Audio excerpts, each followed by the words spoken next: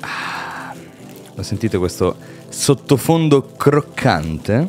Eh? Questo sottofondo di nastrina appena aperta. Devo, devo reintegrare gli zuccheri, ho una fame della miseria. Eh, raga, che volete da me? È la puntata appena dopo quella del frigorifero, quindi vi lascio immaginare la fame. Vabbè, ma bando le franche, le, le sanfe, le tanfe, le, le franche, le ciance, insomma.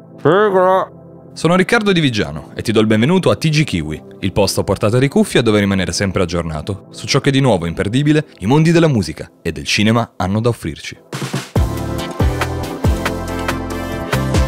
Sono piuttosto sicuro che non si sia capito. Era sigla. No, vabbè, questo è. Ma dove lo trovate? Un altro speaker che vi mangia nel microfono. Lo sentite? Lo zucchero, quello bello grosso a grani delle nastrine, eh? Ah, sentite? La dolcezza. Pare Nasmer. Mmm.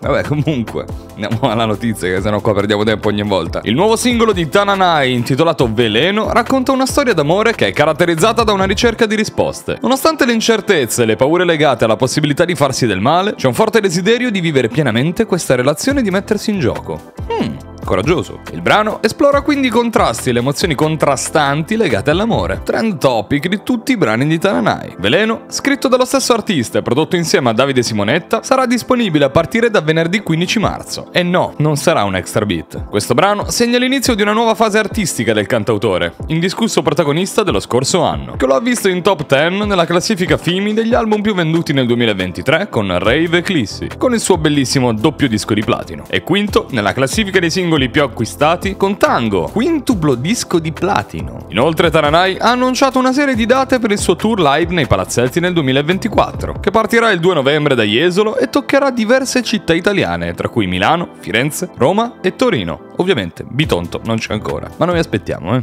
Aspettiamo fiduciosi.